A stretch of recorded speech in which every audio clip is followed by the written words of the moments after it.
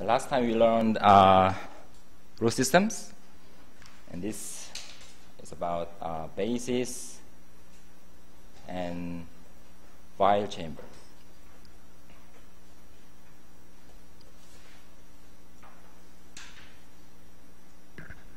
Oh yeah, and by the way, if you have really difficulties understanding the class material, and if you don't have anyone to talk to, then you may uh, talk to me. I can arrange you some other students to work together. So please feel free to uh, ask me for that. Okay. Uh, right. So the root system, uh, we have this uh, E and R.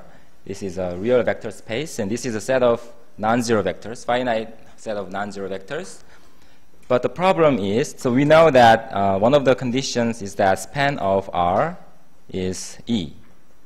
But the problem is, it's not a basis. So there are many uh, other vectors and there are many uh, linear dependencies. So we want to find a basis and which plays a very uh, special role. And this will be a very uh, important definition.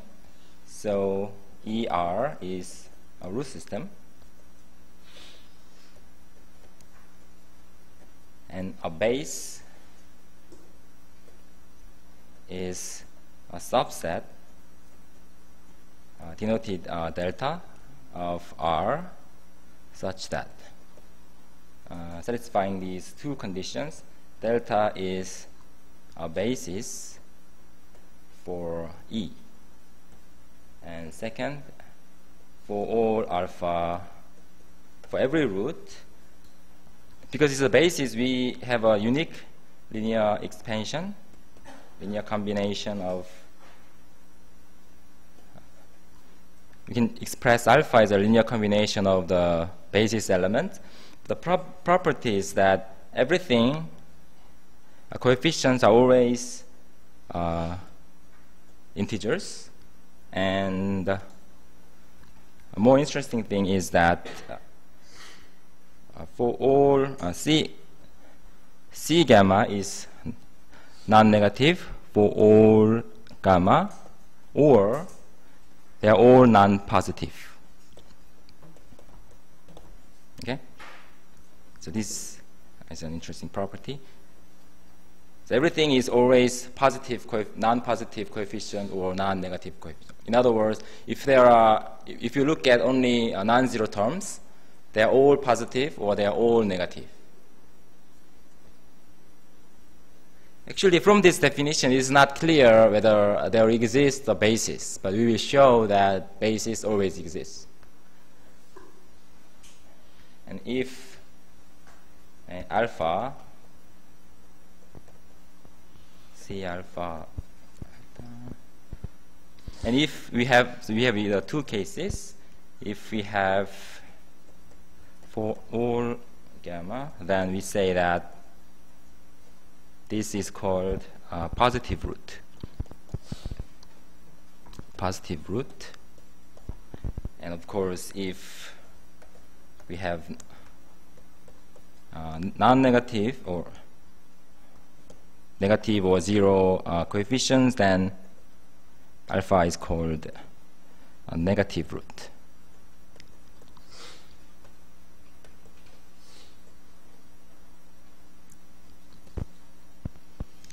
So the, from the definition, every root is either a positive or a negative. Okay?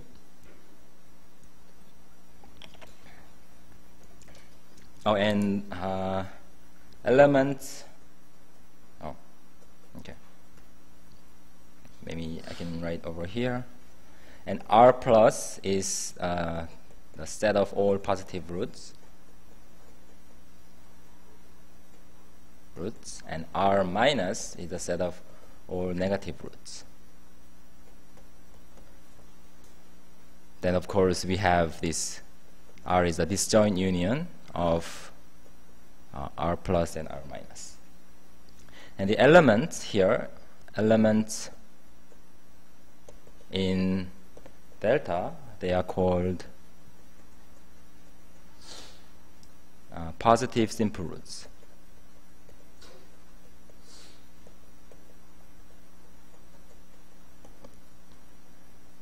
Sometimes just called simple roots because they are always positive. Okay?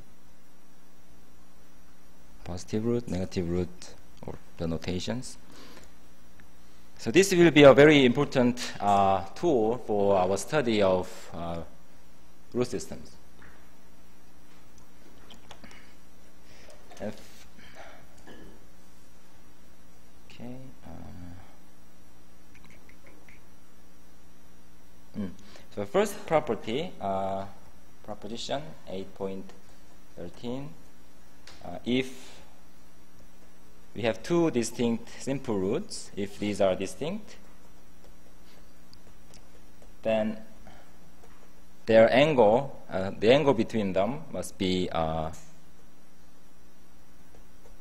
obtuse. So, so like orthogonal or orthogonal or obtuse angle. Okay, because orthogonal means this is zero, obtuse means their inner product is negative. Okay, um, let's prove this. Proof is simple. So suppose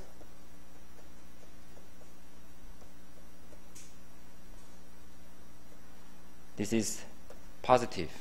If the inner product positive, if you can find the contradiction, then we are done. Then what happens?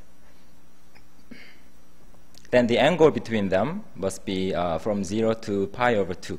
Okay? And we show that if we have two, two roots with uh, acute angle, then by uh, corollary 8.3, we showed that their difference is a root. Do you remember? If their angles are obtuse, then their sum is a root. And if their angles are acute, then their difference, uh, both differences are in the root system. Okay? Um, but this is a contradiction already because we express this is a root. We express this in terms of as a linear combination of simple roots, but we have plus and minus. That's uh, not possible. It's a contradiction.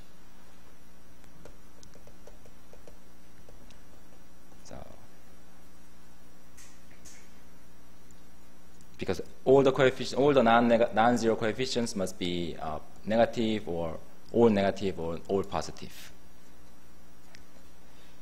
Okay, uh, let's, let me show you some examples of these simple roots.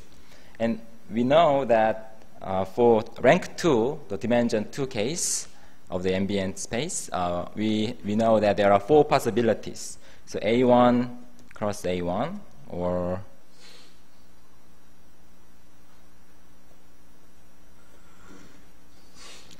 uh, A2 and let's see if we can find uh, some base speed 2 and C2 is the same. And this is more complicated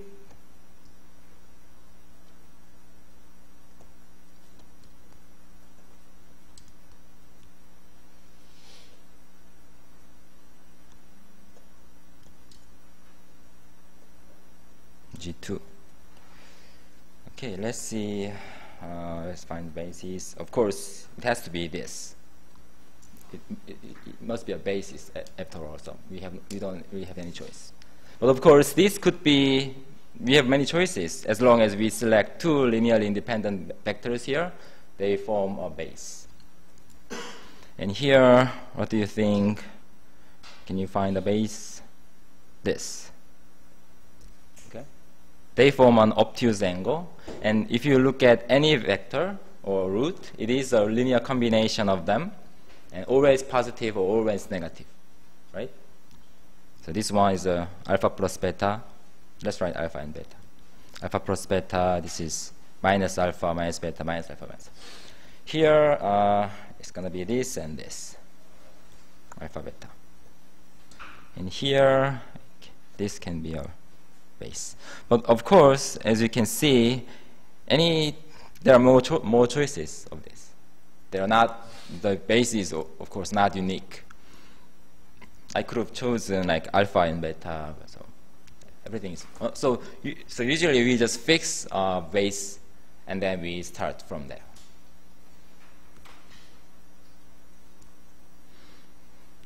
Mm, okay, so this one's more um, the most complicated. So let's see. Um, what is? Can you express say this as a linear combination of alpha beta? First of all, this one looks like alpha plus beta, right? And this is um, here we add alpha, so 2 alpha plus beta.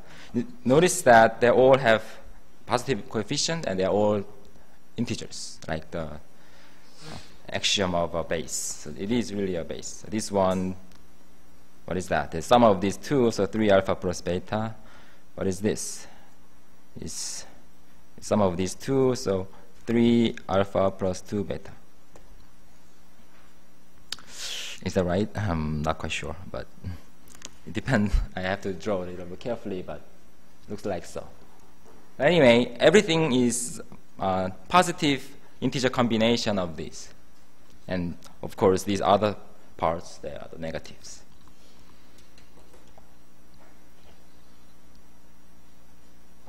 So we have to show that uh, bases always exist.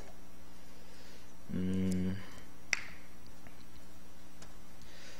Okay, so first we will uh, use this simple prop proposition. A simple fact. Uh, there exists a hyperplane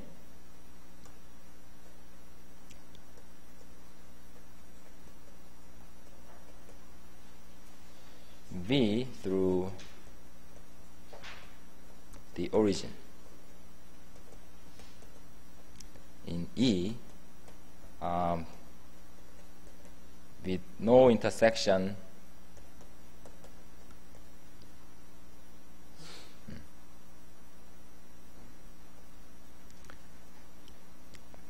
So that means, so R is a finite set of vectors, non-zero vectors, and then we can always find the, what's the hyperplane that does not contain any of the roots. Which is, if you think about it, uh, it seems quite uh, obvious. Mm, you can accept that. But there is a rigorous proof of this, and you can read the textbook if you want. But anyway, let's just accept this, which is, seems quite uh, trivial. Uh, definition. Oh yeah, so now we are going to prove that uh, every root system has a base, so we need to introduce this definition. So this is a root system. Uh, v is hyperplane with the above pro property with zero intersection or empty intersection with this root. Does not have any root. So we have a hyperplane. We have a, uh, this real vector space. We have a hyperplane. Then we can divide the whole space into two parts, one side, the other side. So let let's choose one side. Let V plus be one side of V, right? So if you have if you are in two-dimensional space, if this is say V V, then you know V plus is somewhere like this. You just choose one side. Doesn't matter which side you choose. Mm. And let R plus be the intersection of R with V plus. Okay? And an element element alpha R plus is decomposable if uh, we can express uh, alpha as a sum of two elements in R plus such that alpha is beta plus gamma. By the way, this R plus is just a notation. It's not the set of uh, positive roots. Okay, it's because we don't really know yet whether there exists a base. It's just a notation for now, R plus. And an element in R plus is decomposable if it is a sum of two uh, roots in the same region. And otherwise, if we, we cannot express in this way, we say that alpha is indecomposable. Okay?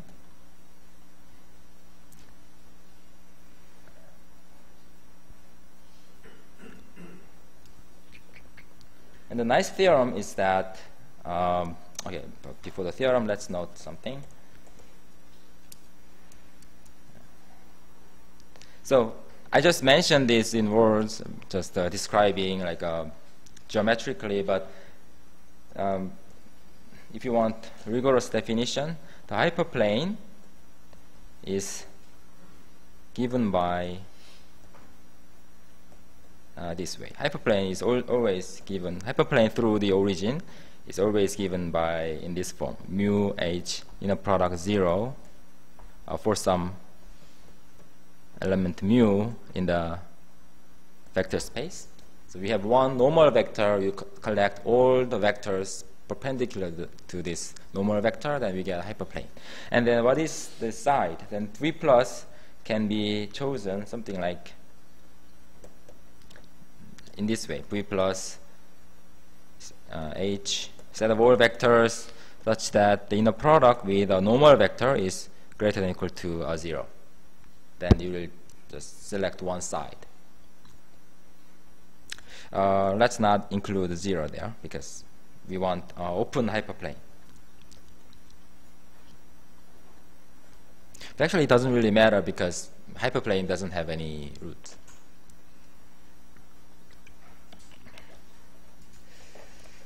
All right, so the theorem is in fact quite simple. It is really uh, constructive. Mm. Yes. Theorem 8.16. Uh, so again, it's a root system, a root system. V, a hyperplane with intersection empty. And define R plus uh, a set of all roots as before in one uh, fixed side of V. So we have one hyperplane and just choose one side and then now the theorem says that the uh, indecomposable roots in R, R plus, form a base for base for R, for the root system R.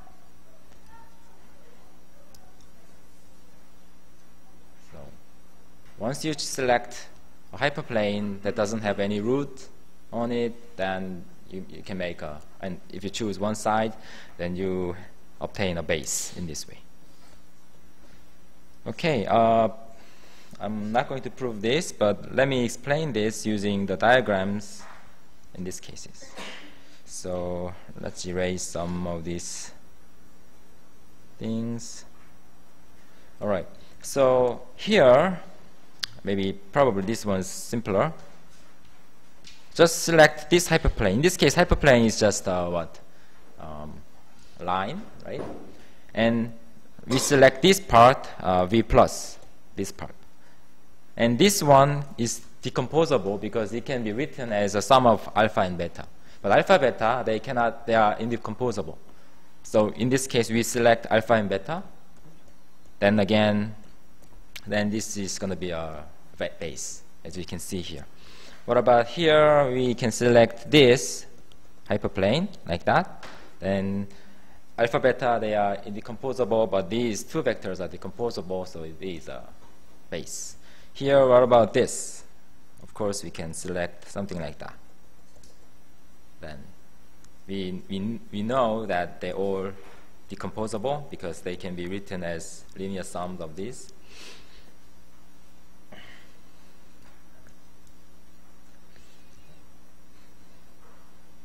Yeah, by the way, this is indecomposable because it's a sum of alpha beta, and this is indecomposable because this is sum of these two, and this, and we can kind of build up like that. Everything can be written just a two of them. All right.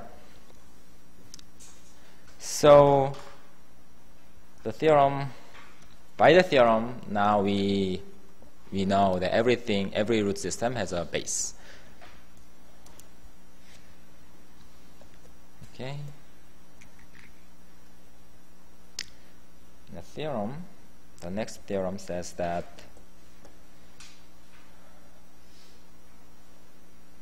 Oh yeah, by the way, this theorem says that uh, we can construct a base by selecting one hyperplane.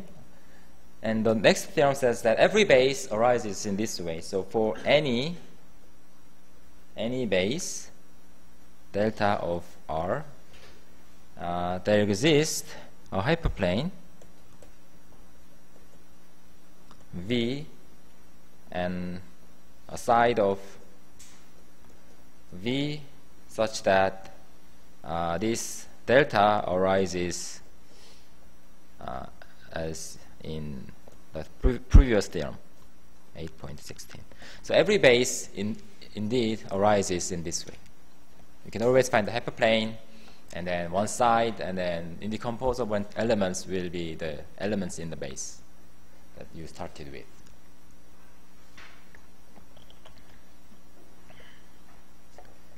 the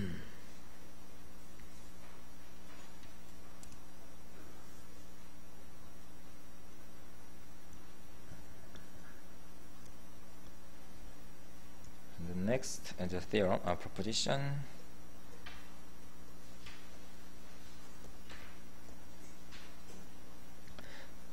So we have a base, base of R. Then we know that when you have a root system, we can consider its dual, right? The dual root system. Then can we find a base for the dual root system?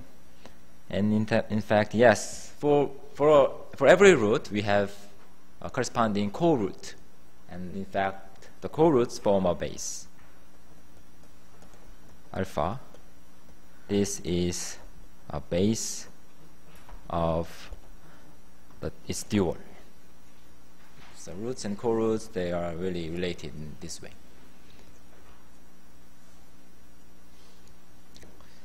Example.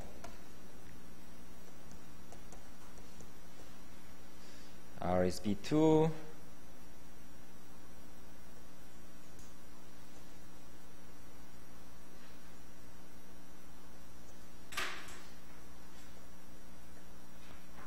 Let's choose uh, alpha 1 and alpha 2 like that. So I think I should say this length is uh, this length is 1 this is square root of 2 yeah. Then this is a base because you know, we have already seen it.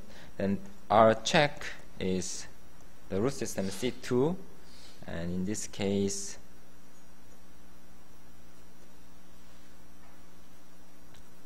we have something like this. And this is uh, root of this is a 2 oh yeah 2 and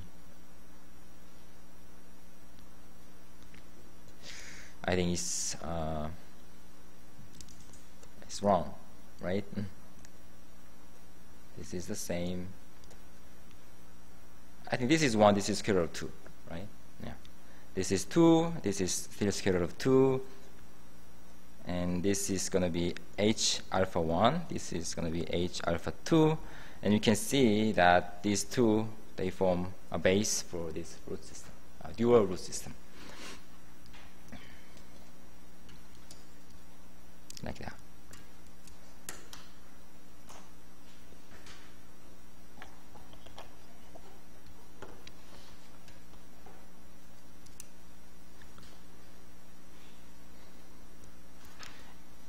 actually you can see this quite easily if you uh, accept this, right? Because they really are the same vectors with just a scalar multiple of them. So if you choose a kind of, uh, where is it? If you choose hyperplane like that, you choose a hyperplane, same hyperplane that, and if something is indecomposable, then it will be indecomposable.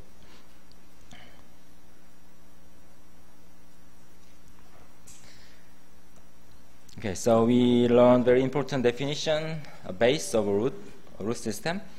And another important definition is the following. Uh, definition, the open Weyl chamber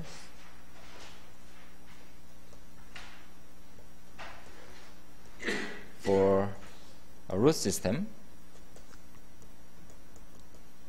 E comma R these are the connected components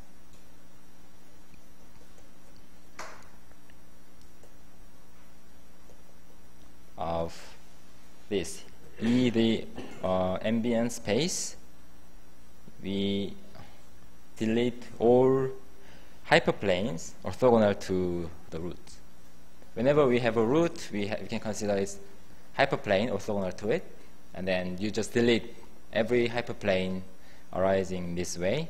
And then this will, this uh, many hyperplanes, they will uh, separate the whole region, the real, uh, the real vector space E, and then you, you, are, you are left with uh, several uh, uh, connected components, and they are called open Weyl chambers. But sometimes, I think we always consider open Weyl chambers, so I simply say Weyl chambers. So they will be open. And of course, V, v alpha is the hyperplane orthogonal to uh, alpha.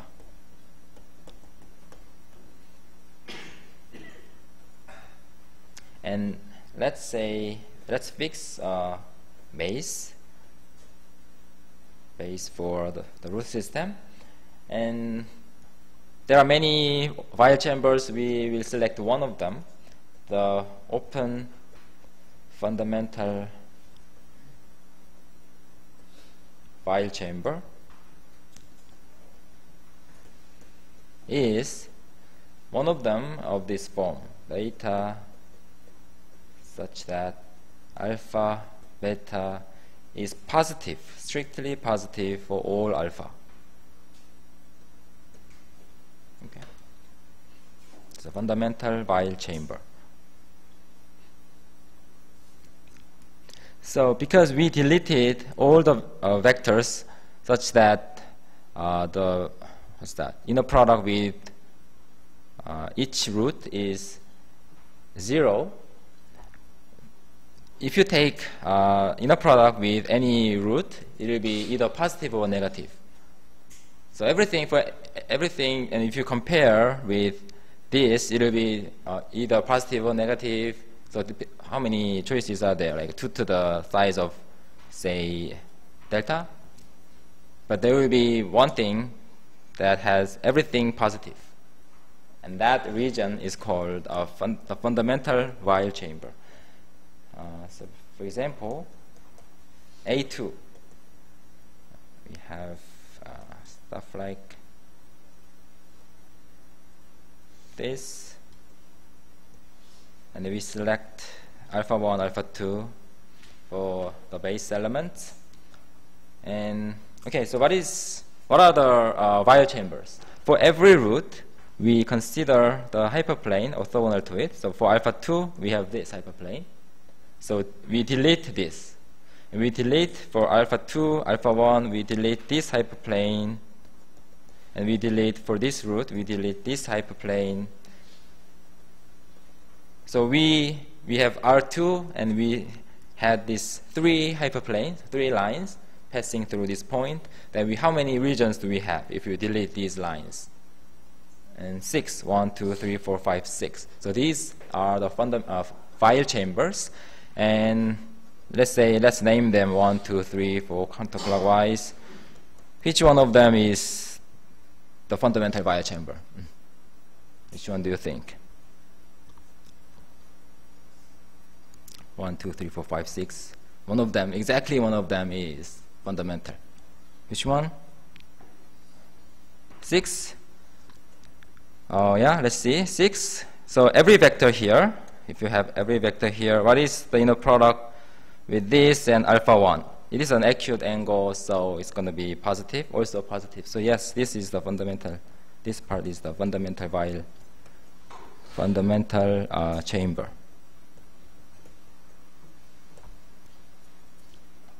And there are six uh, Weyl chambers here.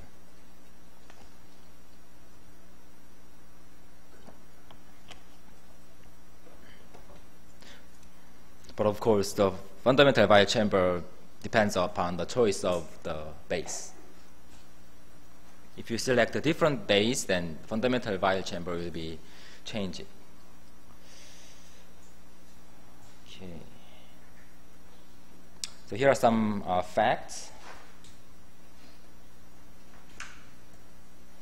First, uh, the fundamental Weyl chamber is convex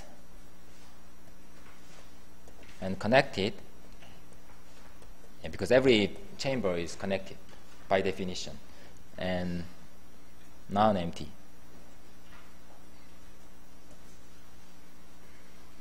And is uh, one of one of the Weyl chambers. It is really a, a ch chamber.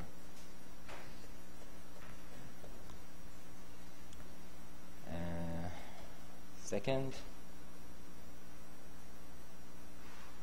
if alpha beta inner product is positive for all alpha, so it's in the fundamental Weyl chamber, then not only with this, it is inner product is uh, positive for all positive roots, right? Which is quite obvious, right? Because everything here, every alpha is a positive uh, combination of this. So if you look at each each uh, each component or each term, it will be positive. So yeah, pretty uh, simple. And the Weyl group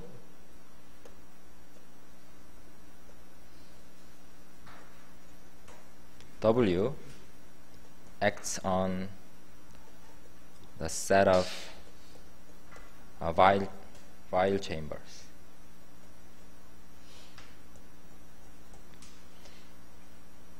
So what does that mean? So it, that means if W is a Weyl group element and C is a Weyl chamber, then W dot C is also a Weyl chamber chamber.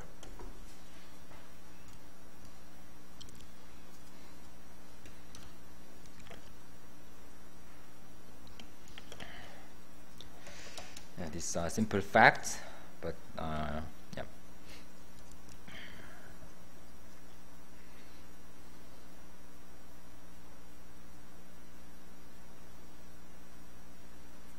So for example, uh, shall we look at this example again? So what is, so okay, let's select S alpha 1. So what is S alpha 1? S alpha 1 is a reflection about this hyperplane. So if you apply uh, S alpha 1 to this, say, fundamental Weyl chamber, then it, this will be reflected to this chamber, right? So again, it's a Weyl chamber. And if you apply, say, uh, S, uh, S alpha 2, then that's going to be a reflection about this. Then if you apply that uh, Weyl group element to this Weyl chamber, it will be reflected to over uh, here. So you can see it will just permute to the Weyl chambers. Okay. So it's a nice uh, fact. Okay, and uh, the next proposition says that 21 C is a Weyl chamber, Weyl chamber. Then there exists a unique base, let's say uh, delta sub C, depending on C, for the root system R such that C is the fundamental Weyl chamber associated to delta C.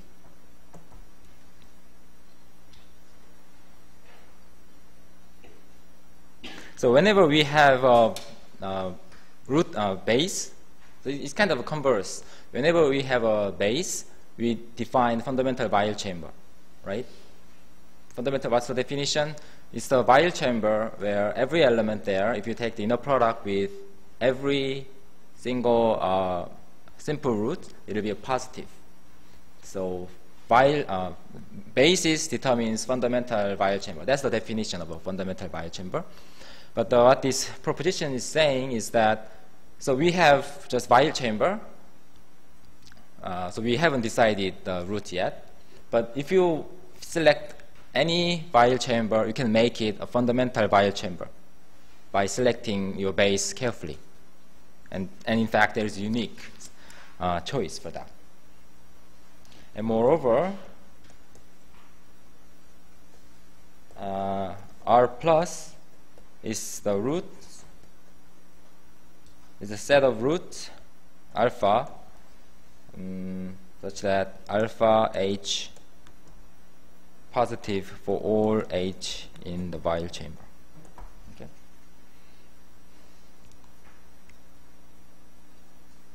So if you know the Weyl chamber, you know exactly what are the what are the uh, positive roots. So the positive roots are exactly those which ha that have uh, positive inner product with elements in the Weyl, a fundamental Weyl chamber. So, so uh, Weyl chamber. In fact, this is a one-to-one -one correspondence uh, basis of R. So there are many, many possible choices for the base for a base of the root system. And in fact, this is a one-to-one -one correspondence. Whenever we have a base here, we make a fundamental, we have a fundamental Weyl chamber. But whenever you have, which is an open, open Weyl chamber, and whenever you have, select a Weyl chamber, you can find the corresponding uh, base. So it's one-to-one, -one, really one-to-one.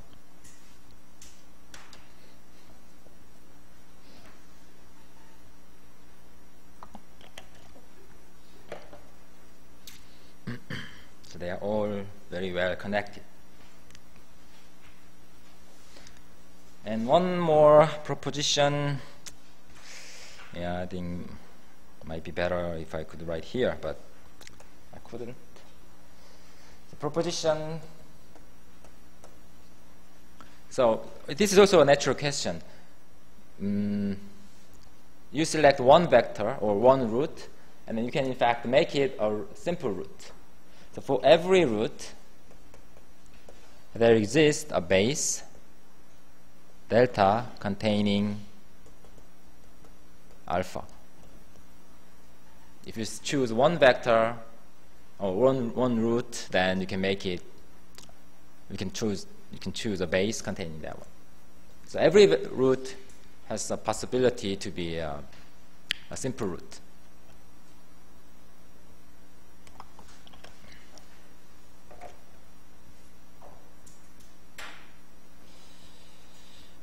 Okay.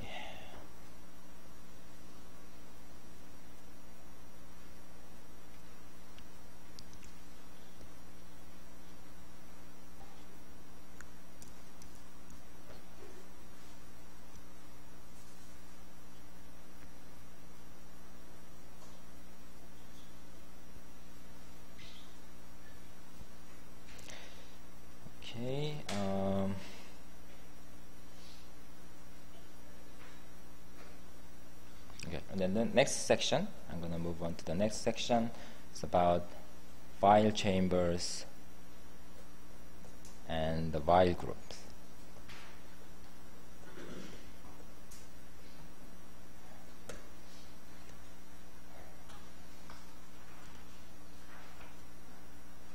So I mentioned that uh, the Weyl group acts on the Weyl chamber, and a nice thing, nice thing about this action is that it is in fact a transitive action. It acts transitively on the Weyl chambers. Chambers. What does that mean? Transitive. Act transitively means so action. So it's a group action. We have elements. Weyl chambers. They are the elements that we this group act, acts on. For any two, you select any two uh, elements. So uh, in this case, Weyl chambers. Then you can always find the uh, basis. Oh, sorry, uh, Weyl group element sending this chamber to the other one.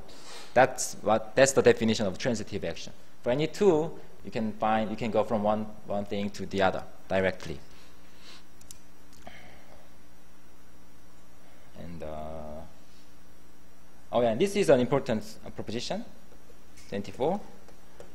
If this is a base, then Weyl group. So Weyl group, what is that? It is a group generated by uh, ref reflections S alpha for all alpha in the root, in the root system. But you don't have to look at all the roots. You only, it is generated by the simple roots. Generated by uh, S alpha, alpha in the, the base. So it reduces uh, the number of generators uh, significantly, right?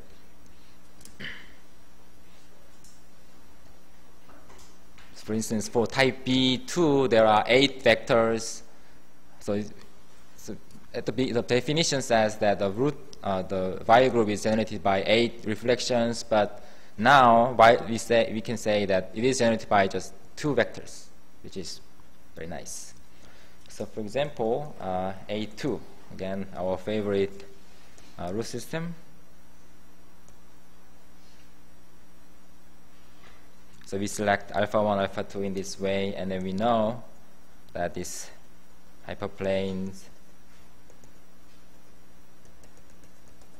and this is the fundamental Weyl chamber.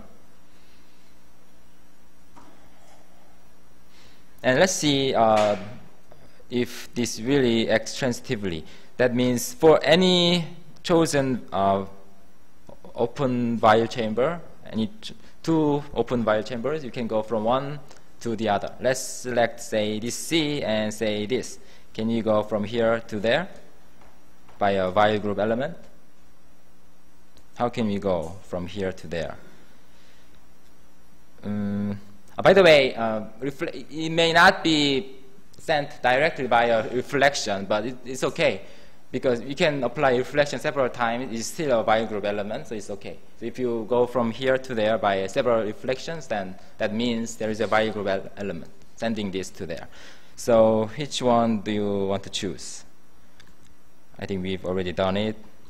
Maybe this can be sent to this part, right, by uh, S alpha 2, right? And then this can be reflected to this by uh, which one? S alpha 1. If you apply F S alpha 1, then this will reflect about this, so it will get sent to this. So if this is D, then D is C times S alpha 1 S alpha 2. So it is really a transitive action. Is this correct? Uh, maybe not. S alpha 1, this is not. I had to uh, reflect about X alpha 2 first, right? To go from here to there. S alpha 2 reflects C to this part, and then I want to go S1. I think I just reversed this. Yeah. Okay?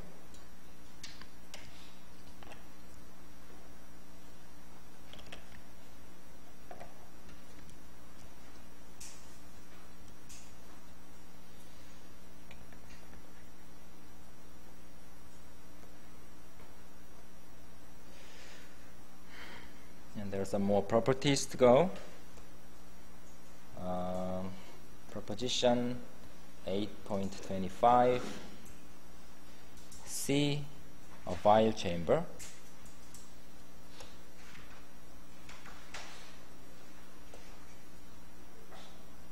And let's consider two vectors, h, h prime, in the closure of C. So this means closure. It's now closed set. So it contains part of the hyperplane enclosing uh, this. It's closure. Topological closure. And if W H equals H H prime for some say W, then H must be uh, H prime.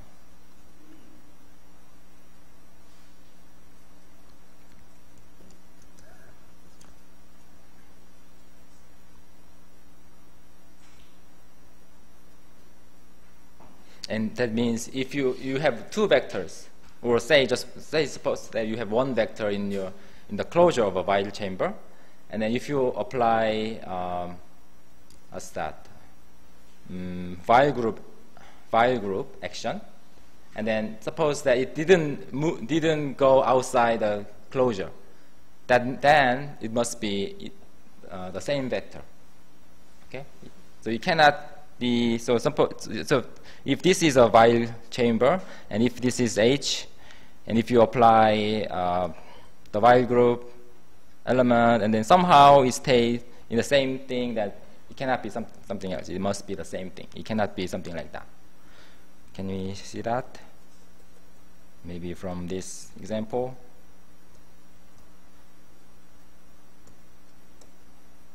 For example, suppose we have, because it is, it's possible that the Weyl group element is, uh, say, the Weyl group element could be uh, non-identity. For example, suppose you have this vector, h. And if you apply, say, uh, S alpha 2, right? It's a non-trivial, this is not identity, but it's still the same, right? Doesn't say that W is, must be identity. It could be, W could be something different. But still, H is the same. Okay? Does it make sense?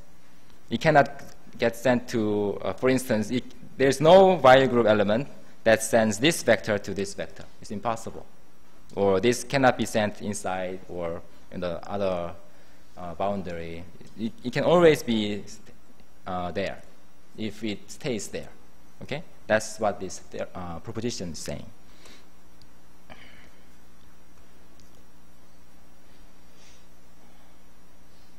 That's this one and the next one. So we will see a bunch of propositions of uh, these properties of the Weyl groups and Weyl chambers. Uh, oh yeah, I think this is uh, six, uh, seven because I somehow omitted the middle one. Uh, w acts freely on the set of Weyl chambers. So in, total, so if you combine the previous one, then that means W acts transitively and freely on this. Okay. Okay. So what does that mean? Group action. So it's an action, a free action on a set X. That means there's no fixed point except for the identity. So that means no fixed point except for, of course, uh, the identity element, which fixes everything. So, and if H is in a Weyl chamber, uh, open Weyl chamber,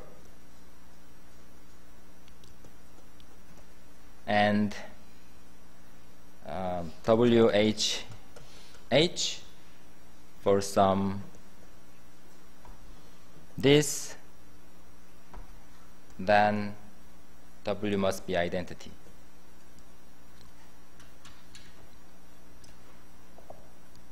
Okay, this is slightly different from uh, this. This is, in fact, stronger than this, right? Because, of course, if uh, W is the identity, they have to be the same. But in this case, W may not be identity because it could be in the, on the boundary, like I showed you.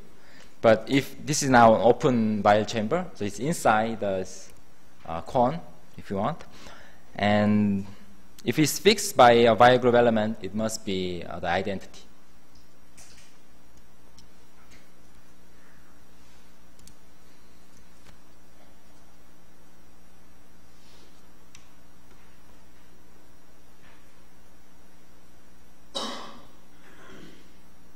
So for the free action, let's see if we can kind of make sense out of it.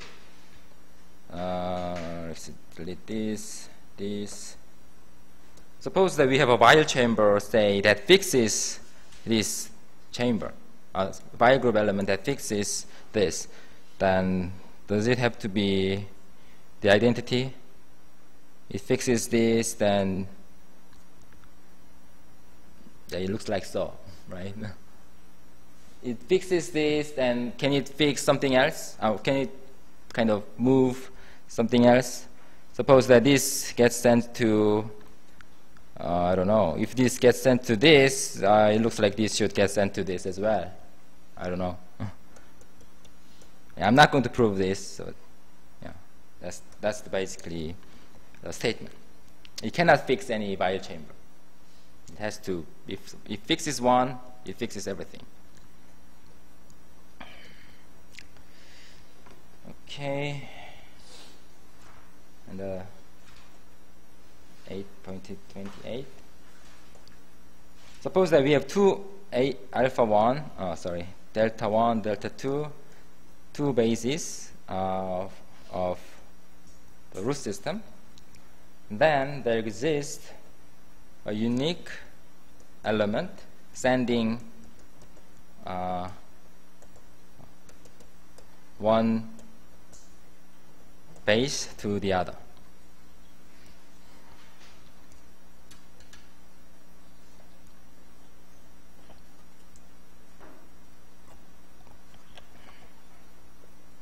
Now this in fact uh, can be proved by combining previous propositions.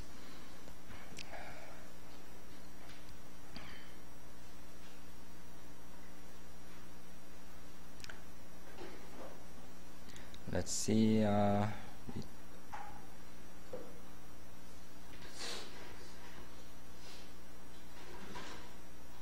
did I mention or maybe not.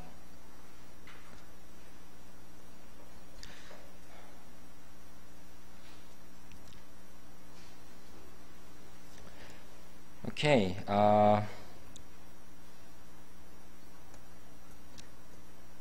you can somehow imagine this because this they, they for every base it has corresponding uh, Weyl chamber, a fundamental Weyl chamber. We have fundamental Weyl chamber, right? And for every two Weyl chambers, that there are Weyl chambers after all, so you can find that act, acts transitively. So we must have a Weyl group element like that, sending uh, C1 to C2, and then it will send this to this because it acts transitively on the Weyl uh, chambers. And what is, why is this unique? Because it is, uh, it, action is free. If it fixes something, then it has to fix the others. So that's basically the idea of the proof.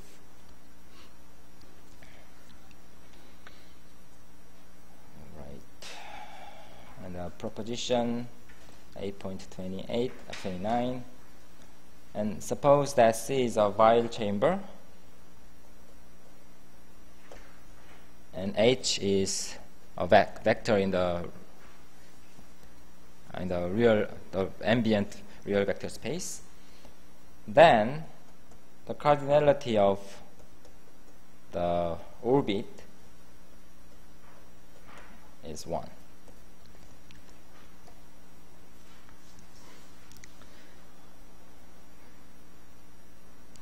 So that means, so we have this Weyl let's say Weyl chamber, something like this, and H is here. So you you you this is uh, basically the orbit, meaning you start from this vector, you keep applying uh, these Weyl group elements, then you will get different vectors. But there's only one thing that really lives inside this uh, closure. Closure. This is only possible. This is only element in the orbit may so if you apply uh, WH, it may be something like that, and also something like that. W, I don't know, prime, H, but only this thing will be inside this closure. Okay, that's the theorem.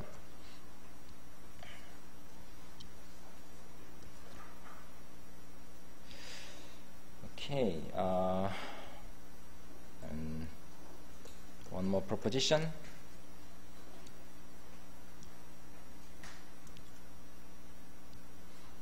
So if you, I think uh, if you uh, kind of work on these root systems, and you will use these kind of propositions, um, but it's kind of not that easy to rem remember them all by just looking at this statement. So try to uh, imagine this kind of diagram so that you can really feel that it has to be the case.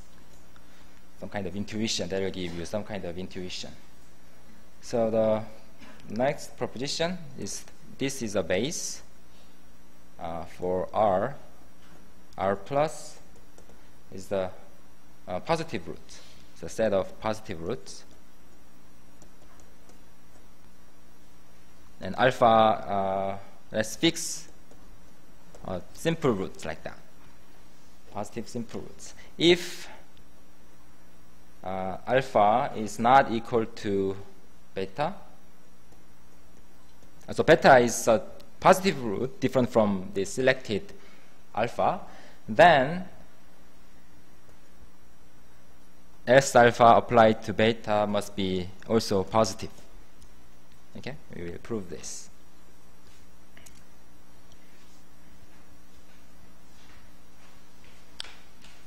Uh, let's prove this because proof is simple and interesting. Uh, so it means, uh, i.e., S alpha, say, permutes, this permutes R plus except alpha. Because if you apply S alpha to alpha, it will be minus alpha, which is not a positive root. But other than that, they stay just there. They may, they maybe change it, but still a positive root will be a positive root. So S alpha only changes alpha to a negative root, but the other ones, they all stay to be positive. So to prove this, let's first express beta as a linear sum of the positive roots, or simple roots. Then, of course, C alpha all uh, non-negative by the definition of positive roots, right? And because uh, beta is not equal to alpha, uh, there exists uh, delta different from alpha in a simple root such that uh, the coefficient positive, okay? There must be a positive uh, term here, different from alpha, because otherwise beta will be just alpha. Beta is, in fact, a constant multiple of alpha, but it must be alpha because it's positive. So, and now let's compute uh, S alpha and S beta. By definition, this is beta minus some constant multiple of alpha. So say n times alpha, and we are, we know that n is uh, uh, integer. But it doesn't. I don't. I don't think it does matter. But anyway, this is alpha beta minus some alpha constant multiple of alpha. So we have we have an expression of beta in terms of a linear uh, combination, it will be changes only for the coefficient of alpha. The remaining coefficient will be the same. So we have uh, S alpha times dot beta is gamma, everything except alpha. It will be exactly the same, right? And maybe plus some alpha, I don't really care. Is that right? Because only the coefficient of alpha is changing. But we know that uh, C delta is positive. C delta is somewhere here. So we have expressed beta, uh, this vector or root, linear, as a linear combination of the simple root But we know that there is at least one positive coefficient. That means everything must be positive, right, by the definition of, of a base. Uh, all coefficients are non-negative. Because all coefficients must be non-negative or non-positive by definition. So that means this is really a positive root. That's the end of the proof. It's simple because you only need to look at just one coefficient. And if you found that, if you found out that that coefficient is positive, you don't have to look at the other coefficient. They're all non, non-negatives.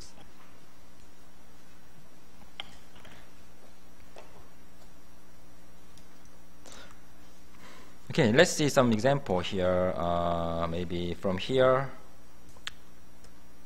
So we have these basis elements, or simple roots. And these three, these are the positive roots, right? So let's apply S alpha, S alpha 1. So we reflect about this.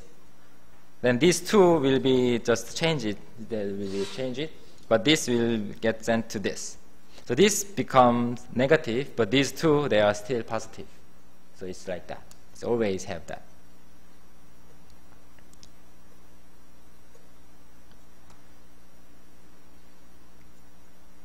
Okay. Mm. I'm going to do a little bit of the next section. It's a very uh, useful and important definition. Probably you have heard of this somewhere as Dynkin diagrams. It's a very useful tool and very compact. It's a very compact way to uh, encode the, the data of the root system. So, definition. R is a root system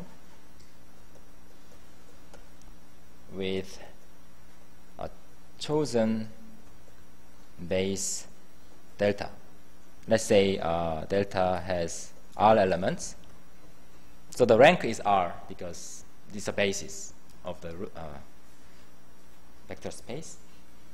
The definition is in fact uh, pretty simple. Dynkin diagram of R is a graph with the vertices corresponding to the uh, simple roots. Let me just write 1, 2, 3, dot, dot, dot, R. So for each simple root, we have a vertex corresponding to it. And such that uh, we have to give the graph structure um, for any two vertices, uh, different, two different vertices. Um, okay. We, we will give the graph structure. So let's say, uh, okay, letting, so this corresponds to alpha, uh, alpha i, this corresponds to alpha j, right? And let's say theta is the angle between them, okay?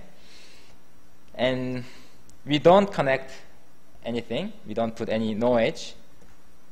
If theta is pi over 2, if they are orthogonal, we don't put anything they are not directly connected.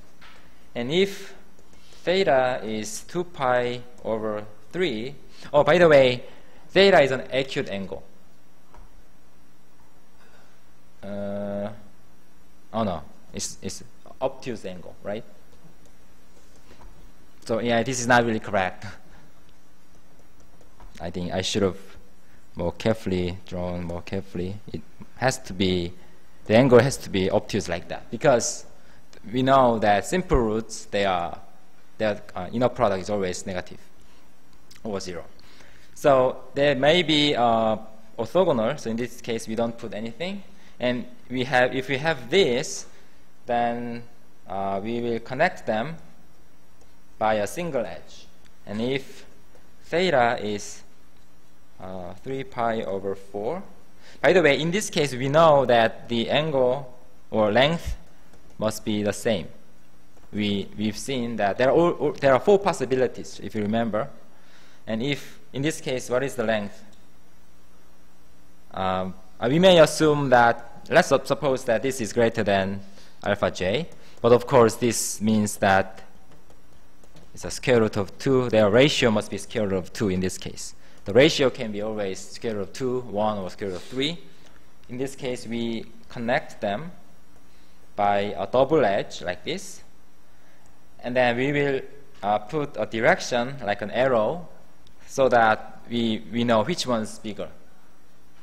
So how actually it's uh, easier to remember this really like a, a, inequality. So inequality, think of this as an, not just an arrow, but inequality. Then this one, alpha 1, is bigger than alpha 2, right? So this means if there are no edges, no directions, that means they have the same length. If there's a uh, direction, then given by this kind of arrow or inequality, it tells us which root is the long root, or which one is the shorter one. And if the last case, uh, in this case, uh, we assume this. That means alpha i is in fact scalar of 3, alpha j. So this is a long root. In this case, we're going to put a triple edge with arrow the same way. So we, for any two vertices, there are exactly one of these four configurations possible.